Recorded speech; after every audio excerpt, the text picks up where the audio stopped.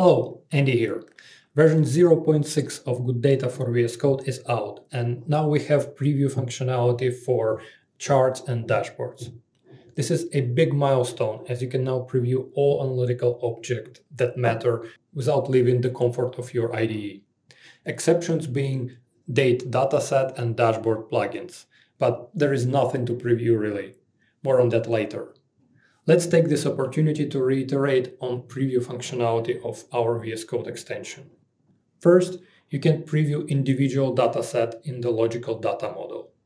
The preview is very straightforward.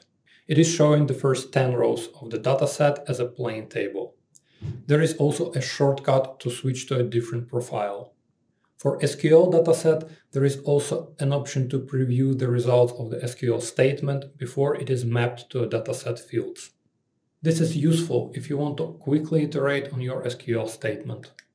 Date datasets are synthetic, meaning it is more of a configuration for the date dimension. There is no real database table behind it, thus there is nothing to preview here. Metric preview is more interesting though. As is, metrics always produce a single number that is meant to be sliced by dimension ad hoc. That is why metric preview supports slicing by one or more dimensions. Visualization preview is, well, exactly what it sounds like. We are using the same UI components to render the chart as in our web UI. So other than a different theme, it should look exactly the same as for your end users. Besides a chart preview, you can also check out the underlying datasheet we are generating for the visualization. This is useful when you want to iterate on the way the data is aggregated before assigning it to a specific bucket of the chart. Last but not least is the dashboard preview. Here you can see all your hard work that comes together in the end and uh, render a single analytical dashboard.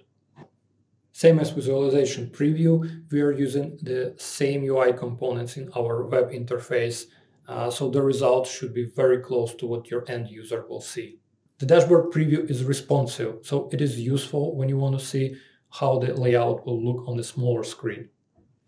Our goal with preview functionality is to reduce context switching when working with your analytics meaning there should be no need to jump back and forth between the browser and your VS Code.